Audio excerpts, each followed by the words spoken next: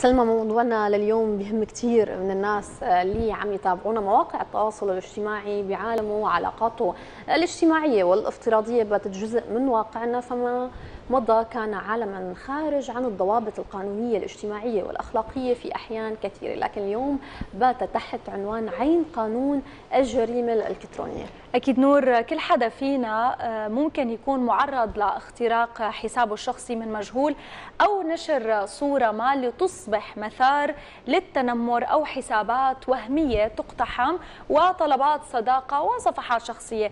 ما هي الضوابط القانونية لها؟ ما هي العقوبات الرادعة؟ المعلومات أكيد مع ضيفتنا بالاستوديو المحامية الأستاذة لما الجمال. يسعد صباحك. أهلا وسهلا فيكي. يسعد صباحك. شكرا لك. على خير. كلك ذوق. شكرا لك.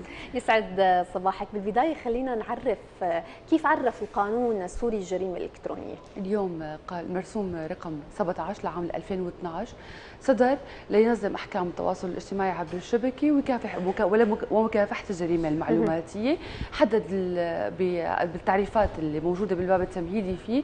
الجريمة المعلوماتية هي أي جريمة يتم ارتكابها ب آه، اسمه عبر يعني أو بالأجهزة الالكترونيه وعبر المنظومة المعلوماتية أو تقع على المنظومة المعلوماتية أو الشبكة. استاذه لما يعني أنواع الجرائم الإلكترونية تبعا لهذا التعريف متعددة متنوعة. خلينا نتعرف من حضرتك اليوم شو هي أنواع الجرائم المعلوماتية؟ نحن نحكي اليوم إنه نحن في نوعين أساسيات وفقا للتعريف اللي جابه القانون السوري. في جريمة هي بس يكون فيها الجهاز الإلكتروني أو الشبكة هي أداة لوقوعها فاليوم هي الجريمه موجودة بالأصل على أرض الواقع مصنفة ومحددة بالقوانين السابقة. مثلا لما بنحكي عن التهديد أو بنحكي عن آه، الذم القدح هي جرائم موجودة بقانون العقوبات السوري. ولكن آه، الشبكة صارت وسيلة لأن يتم آه، توقع عن طريق هذه الشبكة أو عن طريق الأجهزة الإلكترونية. بنجي لجرائم هي لها علاقة بوجود المنظومة المعلوماتية. فلما بنحكي عن اختراق موقع إلكتروني فلولا وجود الشبكة المعلوماتية ما كان أصلا في وجود هذا النوع من الجرائم هذا النوع من الجرائم. فهن نوعين جرائم إعادية موجودة بالأصل. صار تم استخدام آه، الشبكة أو الأجهزة الإلكترونية لتقع هي الجريمة أو هي جريمة واقعة على المنظومة الإلكترونية أو الشبكة. طيب خلينا نحكي معك استاذه عن حالة آه، يمكن عم نشهدها كثير عبر مواقع التواصل الاجتماعي بالفترات الأخيرة بشكل كثير نوعا ما مؤلم آه، للشخص تمام. عم نشوف التنمر إذا فينا نسميه بالعامية في شخص بيكون يمكن ناشر صورة لإله بتلاقي بقى بتبلش الناس تعلق بطريقة كثير في عدم أخلاق فيها طريقة جارحة فيها في عالم تتوصل كمان لمسبات وألفاظ نابية بطريقة كثير آه، مؤذية نفسيا لهذا الشخص. خلينا نحكي عن هي الحالات. أنا كيف فيني صنفها ضمن الجريمة الإلكترونية؟ كيف فيني أتعامل مع يعني رغم وجود قانون الجريمة الإلكترونية للأسف بعد هي الحالات موجودة عبر مواقع التواصل الاجتماعي وبكثرة؟ خلينا نقول اليوم التنمر آه، أصلا كحالة هي غير مذكورة بالقانون السوري باسمها كلمه تنمر هو آه، المصطلح جديد. لهيك قلت لك كيف فينا نصنفها؟ فهي اليوم فاليوم نحن لما بدنا بقانون العقوبات السوري بدنا نطلع نشوف جرائم الذم والقدح. م. اليوم جريمة الذم هي نسبة أي أمر آه، إلى إنسان حتى لو على سبيل سبيل الاستفهام أو الشك مما من الأمور التي تنال من شرفه أو كرامته. ففكرة إنه مثلا إذا بدنا نحكي شفت فلان كيف جمع مصرياته؟ أو أنت عندك معلومة؟ إنه هذا الزلمة كيف جمع مصرياته؟ هي فكرة ذم. ما فينا اليوم نكون بمحل آه، آه، ما نعتبرها بهذا الموضوع ده. نيجي لجرائم القدح. هي اللي تحديدا بيقع تحديدا الفكرة اللي حضرتك حكيتي عنها القدح اليوم أي سباب أي شتيمة أي أي عبارة أي إشارة أي رسمه بتهدف إلى التحقير أو تحمل معنى التحقير. آه الإهانات بنفس المحل بتجي تحت باب القدح.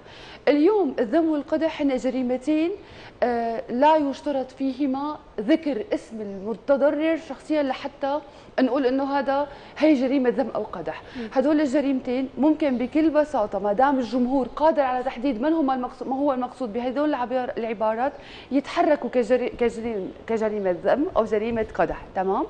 بس اليوم هدول الجريمتين لحتى يتحرك الادعاء فيهم لازم يكون آه، في شكوى للمتضرر. قانون الجريمه الجريمة المعلوماتية أو مكافحة الجريمة المعلوماتية والتواصل عبر المع... عبر الشبكة قال إنه وسائل التواصل الاجتماعي أو الشبكة هي من وسائل العلانيه فاليوم الجريمة بتصير عقوبتها غير لأنه هي مرتكبة بشكل علني حكما ما دام هي مرتكبة عبر عبر الشبكة الإلكترونية. نعم. أستاذة لما كمان يعني آه، اليوم خلينا ندخل بتفصيل أكثر واللي هو آه، متى تعتبر مثلا هي الجمله هي جريمة؟ اليوم في أشخاص كثير بيقول إنه أنا هي صفحتي الشخصية على الفيسبوك أنا حر. شو بدي أكتب فيها. هي حرية شخصية ما بصير حدا يقيدني. آه ليش أنا ما بصير أبدي رأيي بشأن عام؟ ليش أنا ما بصير آه أحكي هاي الجملة؟ هون بدنا نعرف متى تعتبر آه خليني أقول منشور معين يدخل ضمن الجريمة المعلوماتية ومتى يعتبر عادي؟ هون حرية شخصية. حقول لك اليوم نحن بمحل من المحلات الحريات هي شيء مصان بالقانون بالدستور السوري. فما فينا اليوم حرية التعبير تكون مقيدة هذا شيء أكيد. بس أنا لما بكون عم بحمل بعبارات تحقير وذم لأشخاص ونسب شيء بمس شرفهم وكرامتهم هون ما عادت القصة حرية أو عم بحكي عن شأن عام بطريقة آه، خاطئة حتى كمان. اليوم حتى لما بت... هي العقوبه تشدد لما بتكون عم تمس بأمن الدولة وحمايتها.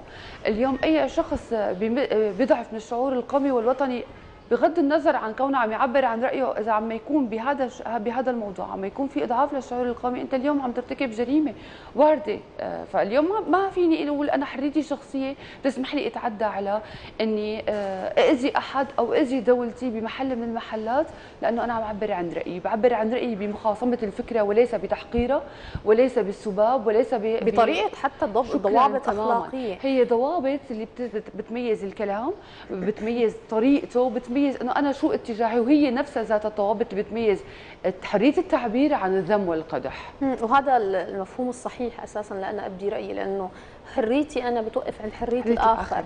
هون المفهوم المغلوط عند كثير من الناس يعني مثل ما قلتي يمكن هلأ كثير من الناس عم يسمعونا بيقولوا هذا الحكي مش صح لا هذا الحكي الصحيح لما أنا بدي انتقد ليكون نقدي بناء.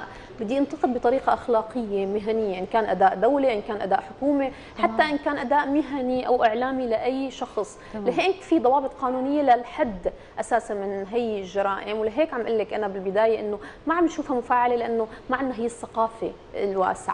خلينا ننتقل لشق ثاني مع حضرتك هو مثلا اختراق الح... فينا نقول الحساب الشخصي أو فينا نقول عنه الهاكرز اللي عم نشوفه بشكل كثير كبير والسنوات الأخيرة يعني في استهداف لشخصيات في استهداف لاعلاميين عم يتم هون اختراق الحساب لإلهم هلا نحن اليوم المواد موجودة. أنا اللي بحب حفظه عند أي حدا.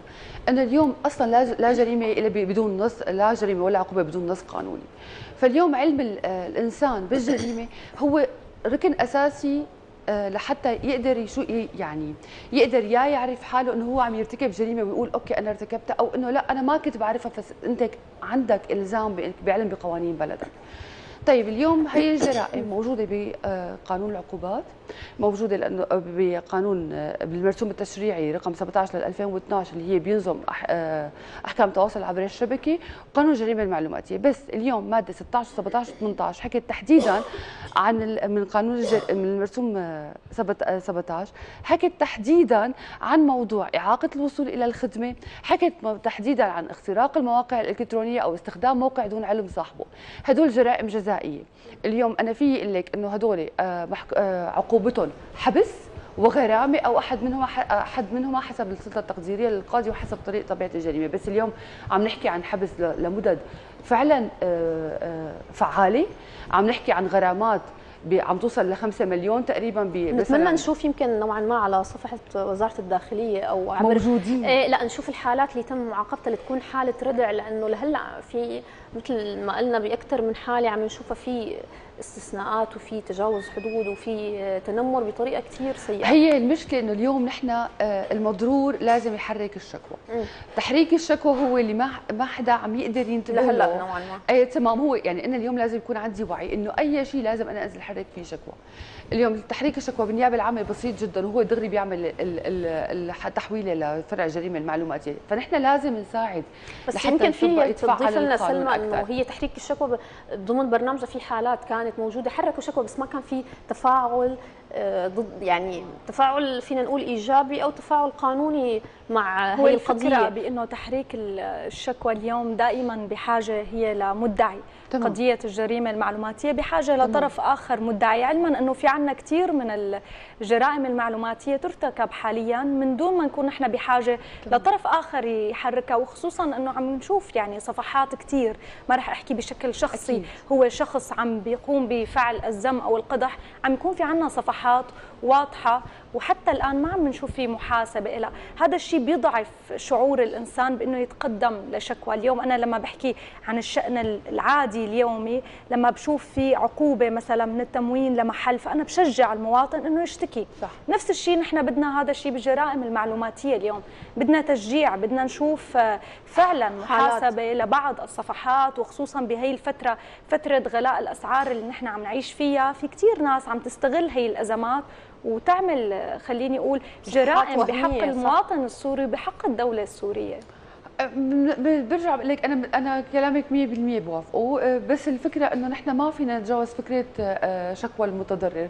لأنه اليوم أه، بس هل يعقل إنه أنا مثلا يعني حتى هن المتنمرين ذاتهم حيقولوا لك إنه اليوم الحكومة عم تختار مين ما بدها وتحاسبه وبتعاقبه. لأنه هي بالاخير اليوم إذا بدنا نحكي عن الشمولية اليوم قد ما كان الواحد قادر يتابع كل الصفحات ما بيقدر يكون ملاحقها كلها وقادر بس, يضبطها بس كلها هل يعقل إنه أنا بترك لهي الصفحة الحرية إنه تشهر بفلان وع- وعلان واللي بتعمل اللي بدها إياه؟ لأنه لم يكن في هناك شكوى ضد هي الصفحة ما هون بالأخير أنا هذا مجتمع يعني أنا مسؤولة أو جزء عنه فلازم حاول حرك شيء تجاهه هلا حتى اليوم بالجرائم العادية اليوم إذا أنا اليوم وقف حدا. ذم وقدح عمل ذم وقدح بالشارع عمل مجلس كامل إذا أنا ما رحت اشتكيت ما بيقدروا يحركوا النيابة العامة بحق بحق اللي عمل هذا الجريمة اي اي اي, أي.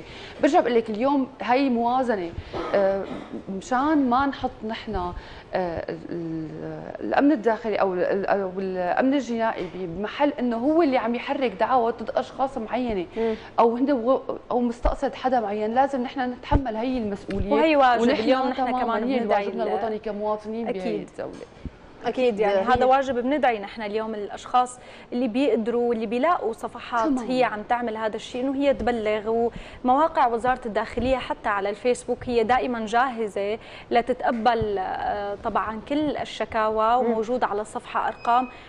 يعني كمان نحن بندعو الأشخاص أو حتى صفحاتنا الإعلامية هي موجودة بيقدروا يبعثوا لنا شكاوى وبنفس الوقت بندعي فرع مكافحة الجريمة المعلوماتيه إنه يكون هيك. آه كمان شوي فعال. أكثر. اي مشان لأنه كمان القانون جديد اليوم وتطبيقه جديد فكمان بدنا نكون هو قانون جديد ومهم جدا, جداً.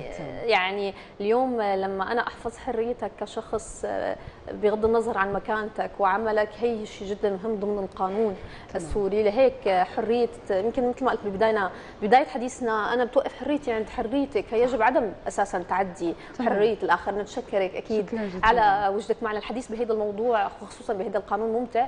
رح نحكي عنه أكثر بحلقات قادمة. أكيد شكراً. لك. استاذه لما شكرا لكل المعلومات